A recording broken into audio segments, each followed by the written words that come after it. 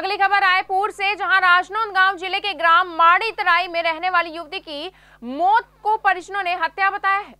परिजनों ने प्रेमी और परिवार वालों पर हत्या का आरोप लगाते हुए रिपोर्ट दर्ज कर उचित कार्रवाई करने की मांग की थी। लेकिन परिजन पुलिस प्रशासन के चक्कर काटने पर मजबूर नज़र आ रहे हैं। उन्हें कार्रवाई के नाम पर मात्र आश्वासन ही मिल रहा है। जानकारी अनुसार राजनांदगांव ज़िले के डोंगरगढ़ थाना क्षेत्र के ग्राम माड़ीतराई गाँव में युवती का गाँव के ही रहने वाले मोहन वर्मा के साथ प्रेम प्रसंग चल रहा था और इसी बीच युवक का शादी के लिए रिश्ता होने के बाद युवक ने युवती सीमा साहू को अपने रास्ते से हटाने की योजना बनाई और डोंगरगढ़ के वेलकम लॉन्च पर बुलाया, जिस पर लड़की ने एक लेटर पर लिखा था कि वह घर छोड़कर जा रही है और उसे मारने के लिए मोहन वर्मा ने बुलाया है। अगर लड़की वापस आती है तो मोहन वर्मा को माफ़ करने और नहीं आने पर सजा दिलाने की बात एक लेटर पर लिखी थी, जो अभी लड़की के मौके, मौत के बाद परिजनों को मिला।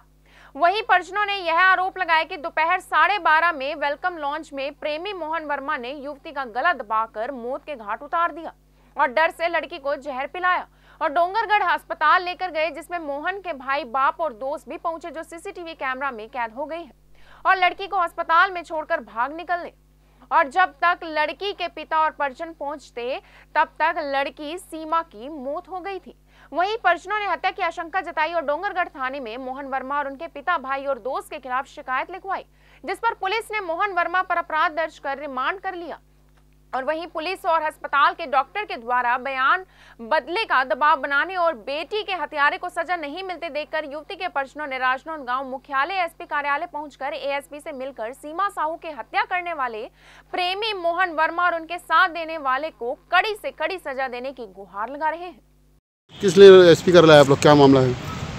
ये सीमा साहू जो है मणितरी के वो जो मोहन वर्मा और उनका परिवार के साथ सा, साथ मिले मर्डर करके अने अस्पताल में भर्ती करीस और जहर पिलाए रही सुबह। और ओकर बाद वो फरहार हो गए।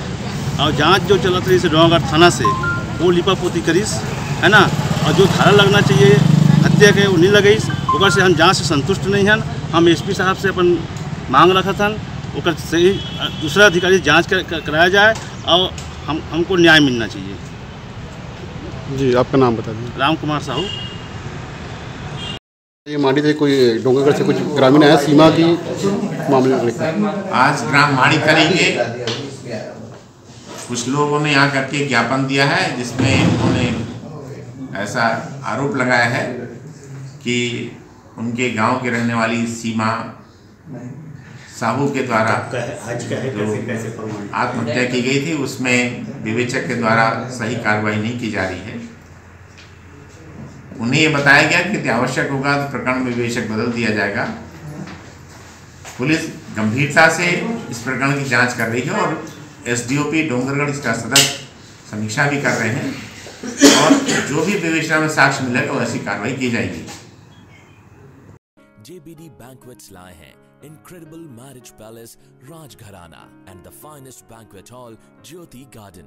World-class catering, centrally air-conditioned, lush green lawns, state-of-the-art lighting. A perfect venue for wedding, launching and parties. Rajgharana and Jyoti Garden at JBD Banquets Enterprise. ऐसे ही लेटेस्ट खबरें पाने के लिए बेल आइकन को क्लिक कर हमारे चैनल को लाइक शेयर एंड सब्सक्राइब करें धन्यवाद